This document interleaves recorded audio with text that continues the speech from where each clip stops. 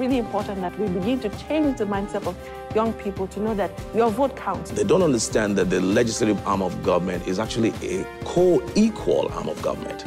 We have an uh, incredible amount of potential.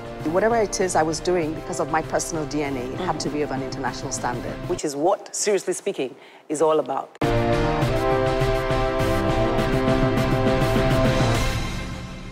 Yes, hello there.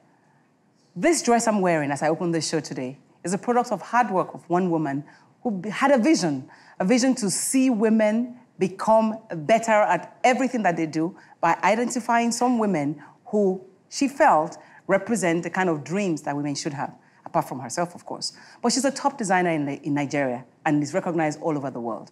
How far can intellectual property go if not protected? She's one of those that has fought the battle in her own ways, but why is she my guest on the show today?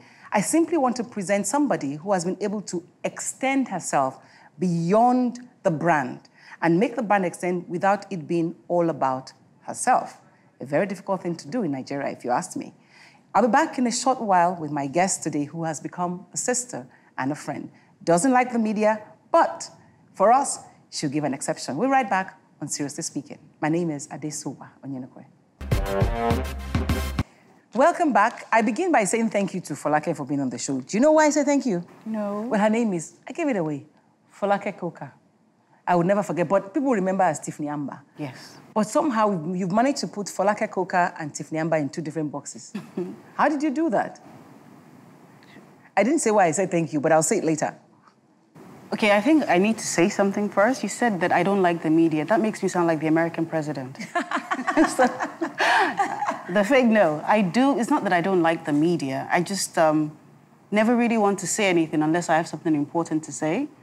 And I need to be very comfortable with who I'm talking with, just so that, you know, sometimes when you're in the public light, you're guarded all the time.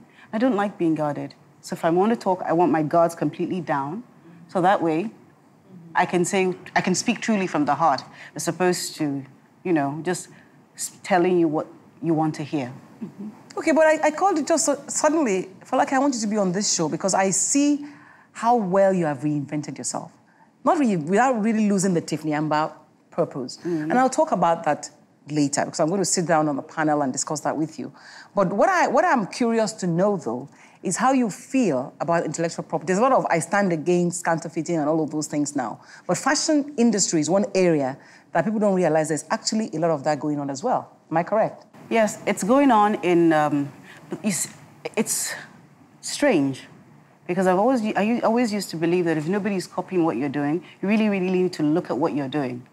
Because that means nobody wants to be like that. Yeah. Mm-hmm. So it's kind of a sign of success when people copy you. But then our environment is so small, the business environment, that is, um, that you can actually damage somebody's business by counterfeiting their product in this environment a lot faster than you would, say, anywhere else in the world. Mm-hmm. Um, the fashion industry, I'm going to use it as an example. Their brands now, they're set up to copy the few established designers there are in the industry and um, they do it very disrespectfully. Uh, I, I, I don't think, I, don't, I try not to get emotional about it because, you know, there's sometimes, in, there are few designers who in their lifetime come up with a product that stands the test of time. That, this one, for example. This yeah. my dress is like four years old or three years old. That's a timeless piece. But I'm talking, like, you know, um, Diane von Furstenberg, she's one of my favorite people on earth. I think yeah. she's just amazing. Her wrap dress. Yes. And your wrap, uh, iro and buba.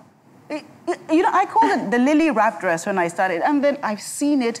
I mean, there were websites set up to duplicate this dress at selling it at what? Maybe a tenth of the price that we were selling it.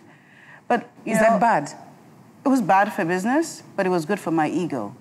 because everywhere I turn, I see something that I created. Mm-hmm. And um, it's, at first I thought, oh no, I'm not going to touch it again. But no, if you do that, you're giving it, you're, you're, you're letting go of something. I mean, that dress for me was probably the, the first time I experienced. Almost ten- broke your back, I remember. Tension pain. because I stood in front of a mannequin for seven hours, draping and draping and draping. And then, ta-da, at 2 a.m. in the morning, this dress was born. And I thought, oh, wow, this is, this is it. And um, for two years, luckily, nobody copied it.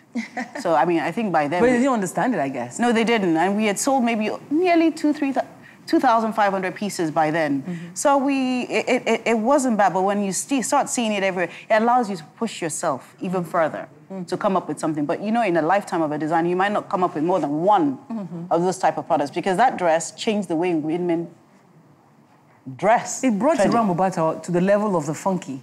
Yeah. Yeah. Away from the mummies, yeah. you know, and the mummies who wanted to be funky would wear it. But however, having said that, though, the question really is about how can you protect intellectual rights in an industry like yours? It's difficult because the fashion industry, it's um, still very much in its infancy. Here in Nigeria? Here in Nigeria. Even with all the accomplishments that people like you have made? It's, yes. Because how do you say, you, it needs to be an outright copy. And then, did you copyright this product when you created it? Can you copyright the product? If You're nobody, a lawyer. If nobody else in the world has done anything like that, I mean, really, if you can come up with a pair of trousers, how do you copyright a pair of trousers? how? I mean, you can copyright your print. But you're doing that. You've been doing prints in recent times. Well, no, actually, I've been doing prints for about 15 years now. Every almost from the beginning. From the beginning, we always have our own prints, and there was this particular print, my dancer print, which I was on Instagram the other day, and I thought, wait a minute, I didn't do that design. Design. And then I saw it on somebody, other designers. I, do I say designers? Other clothes maker. Mm-hmm. I've started copy. They started copying it, but this is like four years after this particular print was launched, and they started copying it, and people are buying. Uh, so why don't you guys copyright your print? That's a very good question, but that is something that that's all these type of questions are the reason why 2016 was a year that I sat back to recalibrate. I wondered. And say, you know what, I need to know where I'm going with this. Mm-hmm. Uh, this business is not, it's not a hobby. It's, I'm trying to build a heritage brand. Which, is, which takes me to the question I asked you originally. How did you manage to separate Folake from Tiffany Amber? Because Tiffany Amber did all the talking. Folake is a private person. Tiffany Amber is a popular one. She's cool. Do you know a lot of people think you're a snob? Maybe that's why. That's you as a Folake.